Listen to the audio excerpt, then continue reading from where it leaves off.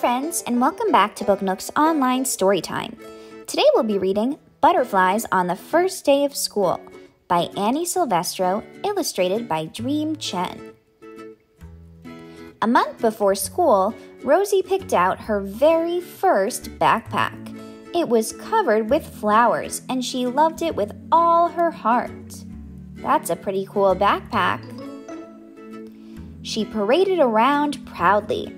Don't worry, she told her sister Emily. Someday you'll be big enough to go to school like me. Oh, look, it's her little sister Emily and their kitty.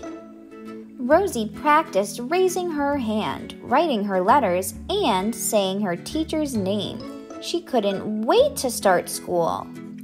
But the night before her first day, Rosie couldn't sleep.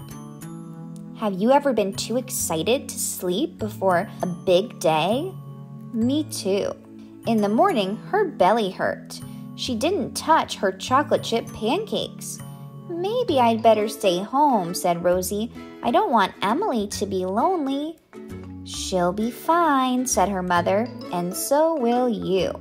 Rosie shuffled the pancakes around on her plate.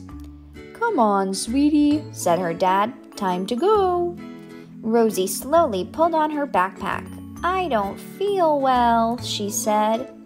You just have butterflies in your belly, said her mother, hugging her tight.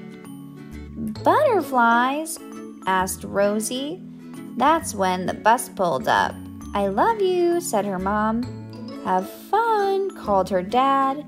Rosie stared nervously out the window. Soon, a girl sat down next to her. I'm Violet, she said. What's your name? Rosie. As she spoke, a butterfly flew from her mouth. Rosie clapped both hands over her face.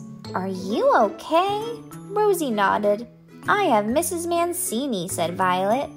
Me too, said Rosie. Oh, they have the same teacher. The words tumbled out on two silver butterflies.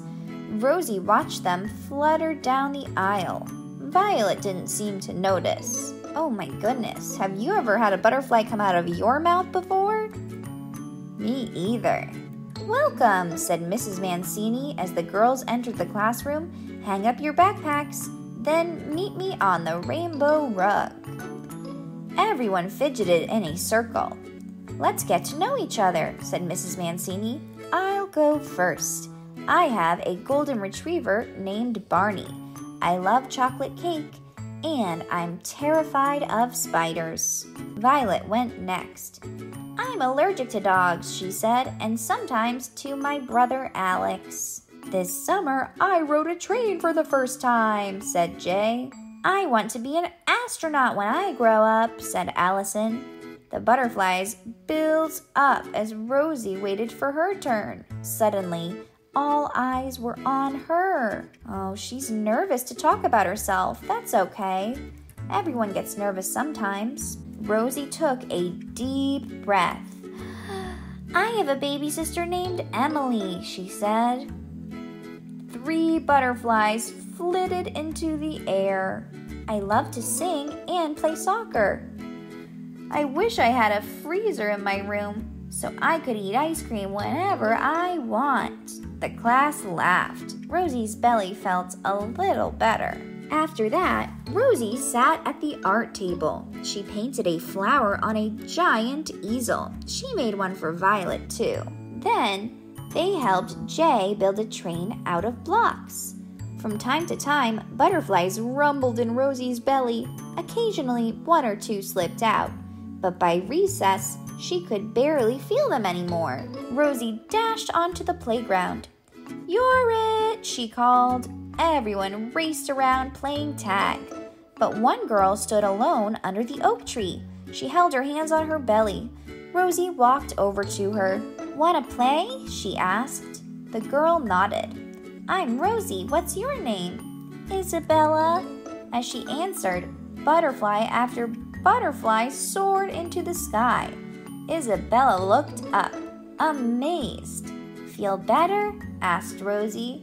Much, said Isabella. At the end of the day, Rosie waved goodbye to her friends. She ran off the bus and leapt into her mother's arms. School is so fun, she said. Violet has a flower name like me, and Jay built a train out of blocks, and Isabella had butterflies too. Her mother smiled. I can't wait to hear all about it, she said. The words floated out on a shimmering butterfly's wings. The end.